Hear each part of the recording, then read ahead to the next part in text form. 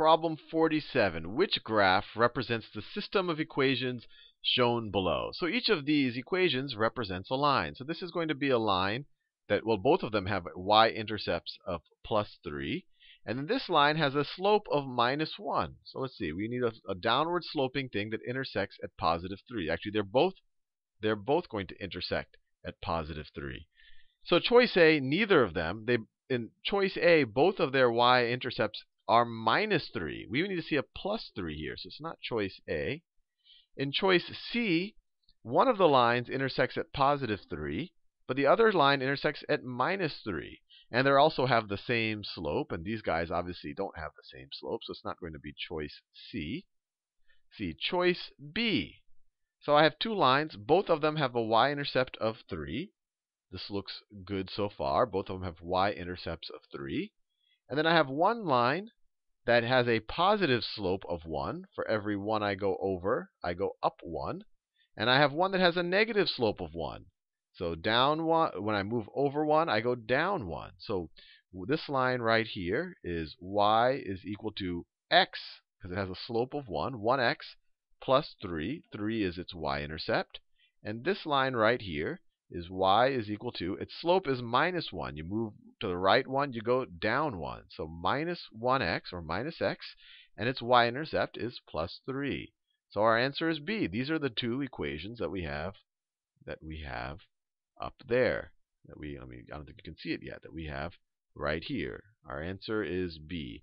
And D, both of these guys have the same slope, so you can't have you know, clearly it doesn't apply to the two equations up there. And they also have two different y-intercepts, so it's definitely not choice D.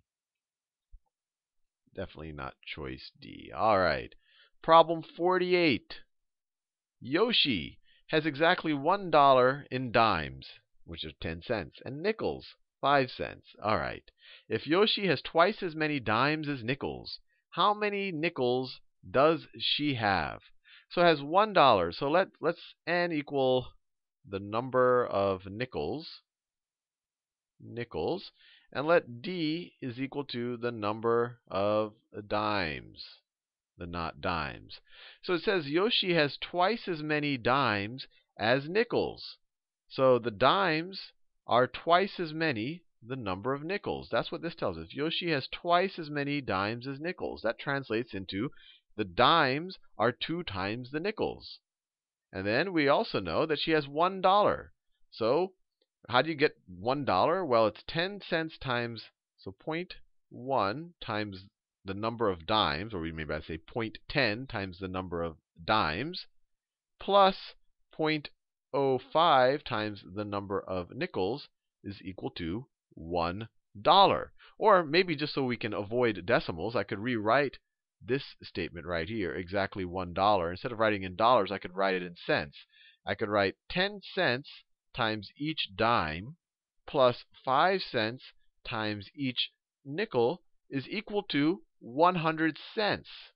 So if you if you compare this equation and this equation, I just multiplied both sides by 100. Here I'm dealing with cents, so uh, $1 is 100 cents. Here I'm dealing with dollars. A dime is a tenth of a dollar. A dime is 10 cents. This one right here is probably a little bit easier to deal with. So what are they asking? How many nickels does she have? So we want to solve for n. We want to solve for nickels. Well, we have this piece of information right here. The dimes are equal to 2 times the number of nickels. And we have this right here. So what we can do is substitute for d. We can replace this d, and we know that d is equal to 2n. So we could put 2n in the place of that. So let me write it over here. So I have 10d plus 5n is equal to 100.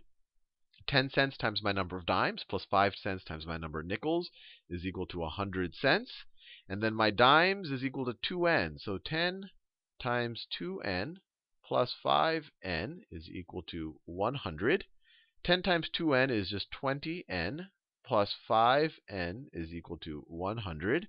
And then we get 25n is equal to 100. Divide both sides of this equation by 25, and you get n is equal to 100 divided by 25 is 4. Yoshi has 4 nickels. 4 nickels. And if you want to know how many dimes, you multiply it by 2. She has 8 dimes. So she has 80 cents in dimes, and then she has 20 cents in nickels. 4 times 5. Problem 49. What are all the possible values of x such that 10 times the absolute value of x is equal to 2.5? So we could simplify this. So we have 10 times the absolute value of x is equal to 2.5.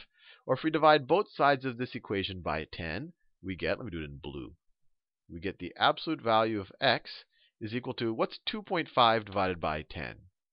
2.5 divided by 10. You might be able to just do it in your head. You say, oh, you know, there's four quarters in a dollar, or 25 times 4 is 100, but you know this is 25 divided by 10. If you multiply 2.5 times 4, you're going to get 10. So you can say this is 1 fourth. If that wasn't obvious to you, you could actually do the division. You can divide 10 into 2.5, and maybe throw some zeros there. Put the decimal there. 10 goes into 2 zero times. 0 times 10 is 0. Bring down the 2. 2 minus 0 is 2. Bring down the 5. 10 goes into uh, 25 how many times? 10 goes into 25, goes into 25 two times. 2 times 10 is 20. 25 minus 20 is 5. Bring down another 0. 10 goes into 50 exactly 5 times. 5 times 10 is 50 subtract, you get 0. So 10 goes into 2.5 0.25 times, which is the same thing as 1 fourth. So it's 0.25. The absolute value of x is equal to 0.25. Now, that tells us that x, what are the two values for x? x could be x could definitely be equal to 0.25 because the absolute value of 0.25 is 0.25. Or what other number when I take its absolute value is 0.25?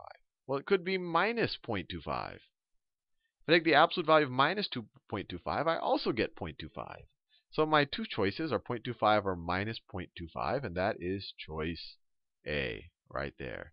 And when we did this division, I did it kind of the long and slow way. And if you didn't recognize that this is 1 fourth, the other way to say is when you divide by 10, that's equivalent to moving your decimal one spot to the left. So you could say, you could have just said, oh, 2.5 divided by 10 is equal to, let's just move the decimal over to the left, is equal to 0.25. 0.25. All of those would have been equivalent ways of doing it. Problem 50.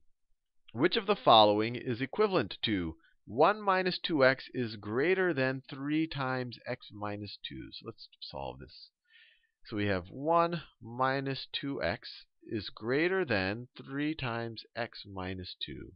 Or we get 1 minus 2x is greater than, let's distribute our 3, 3x minus 6. 3 times minus 2 is minus 6. Now, let's see, we can subtract 1 from both sides. So we have a minus 1 plus here, and then we're going to subtract a 1 from that side. And I, the whole reason why I'm doing that is to cancel out that 1 right there. So this side, those cancel out, so I'm just left with minus 2x is greater than 3x, and then minus 6 minus 1 is minus 7. And now here is the vaguely tricky, tricky part. Well, no, actually, we're not at the vaguely tricky part yet. Let's subtract 3x from both sides. So we have minus 3x on that side, and then minus 3x on that side. And the whole reason why I'm doing that, the whole reason why I wanted to do that, is to cancel out this 3x. So that these two guys obviously cancel out. And I have minus 3x plus minus 2x, which is minus 5x, is greater than minus 7. And now here is the vaguely tricky part. We want to divide both sides by minus 5.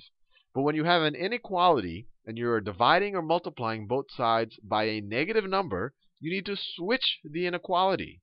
So then this, so this, if we divide both sides by minus 5, so I could multiply by the fraction, minus 1 fifth times minus 5x, and then I'm going to have a minus 7 times minus 1 fifth.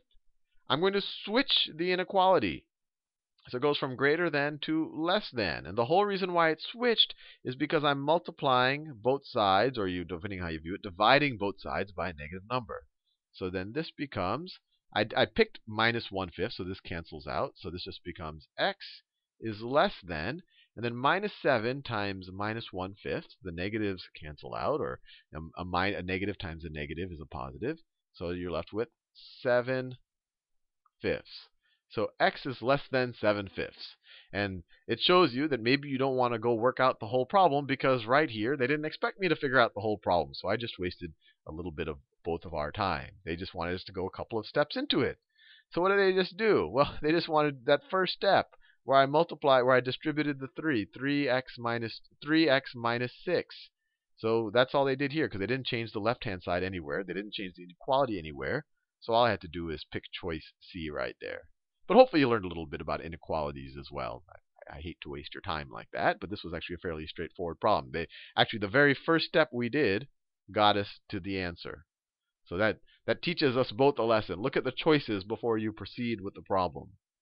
51. 51. Which equation represents the line on the graph below? So we could look at this we could look at this, we can just kind of eyeball it, but sometimes is is hard to eyeball it. So what we want to do is look for some points. You know, my, my first intuition is say, okay, y is equal to mx plus b. Let's look for the y-intercept and the slope. But here the y-intercept, it's not completely obvious where it is. Although I, I could, you know, it looks like it's at 1.5. And we could actually verify that it's at 1.5 because its slope, its slope, you can see right here. If we start at 1, and if we go 2 to the right, we go down by exactly 1. So its slope, its slope, m, is equal to change in y over change in x. Their change in y, when your change in x is positive 2, your change in y is minus 1. So your slope is minus 1 half. So if you if you go back 1, you're going to go up 1 half, just like that. So our y-intercept is one and a half. It's right there. Is equal to 1.5, just like that. I can verify that from the slope. If I so if I you know if I start at two and I go one to the right, that means I'm going to go one half down because my slope is minus one half. So I'm going to go one half down, and that'll get me to one and a half. So the equation of this line, the equation of this line is y is equal to minus one half x, that's my slope, plus one and a half plus 1.5, and that doesn't look like any of these choices here, so we need to simplify this a little bit. Well, the first thing we might want to do is multiply both sides of this equation by 2. So you get 2y is equal to 2 times minus 1 half x is just minus x, and then 2 times 1 and a half is 3 plus 3. And then if we add x to both sides of this equation, and I'm doing that to get rid of this minus x on the right-hand side, we get x plus 2y is equal to 3. And that is choice A right there, which was completely equivalent to what we did up here.